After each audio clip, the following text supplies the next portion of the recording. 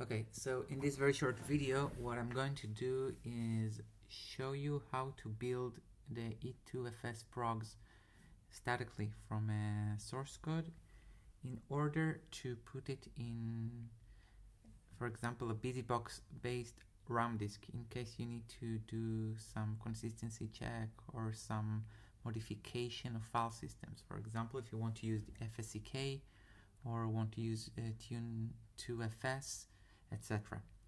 So what we're going to do is show how we build like the latest tag of the E2FS progs from source code because BusyBox does not prov provide it. We're going to show a very simple script and that shows how to work around some annoying issues with AutoTools. And uh, there are many configurations and usually when someone wants to go and configure things by themselves then with every project there is another uh, caveat. So we're just going to show something that like very quickly builds and get the work done for you. And we're going to show on the way some issues that you will see in many projects when you actually build with glibc which a takeaway from this is hey if you really want to use something like on a very small ram disk or something like that you can link with another libc but this is not what we're doing here. We're giving like the motivation. This uh, lecture by the way is part of like a set of lectures or something that i refer to from my courses uh, when i just want to keep things like uh, on time and i always give like extra references okay?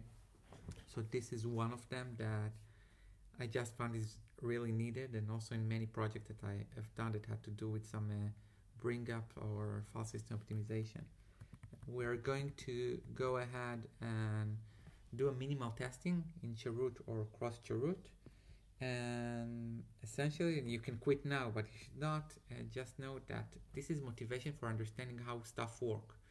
If you have a team that uses like a proper build system like Yocto project for example then you would really want to use their expertise and not try to be smart but many times you will want to do smart, especially if you're building your own systems, whether they're Debian based or not. So to have this video being short, I made like a short script that actually does that. So let's go ahead and look at it. This is what I cloned from the official E2FS progs repository you can also find like a tarball in SourceForge. And I already checked out um, the 1.47 tag. So if you see like what's going on on like the log and this is the demo tag that I checked out uh, the demo branch and this points to this version okay? I'm going to look at this small script that does the following things build for several tuples which runs over some tuples that you can see that are like the prefix of a cross compile for several architecture. We have here x86-64 uh, arm-64 uh, RISC-V 64 and um, arm linux okay?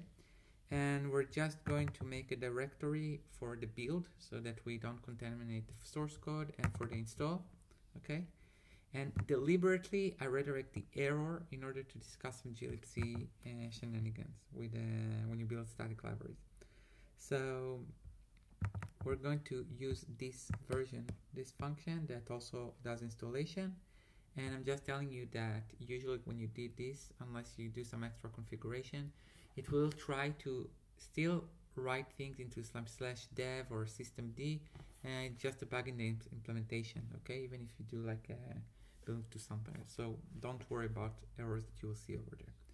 So basically, this function receives two parameters. One is the build uh, uh, folder, and the other is the installation folder. Okay, that's like a second argument.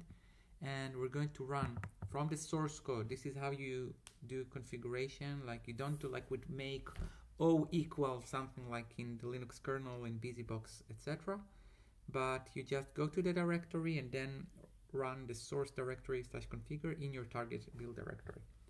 We provide LD flags dash dash static. There are so many ways in so many way, um, versions of auto configure to actually provide how to build uh, statically this is why it's a lot of times a challenge and in many projects you would just go ahead and provide the LD flags yourself. There used to be some other things enable static disable shared it works on some project it doesn't work on some project and this is like a modern and relatively uh, reliable way of doing that.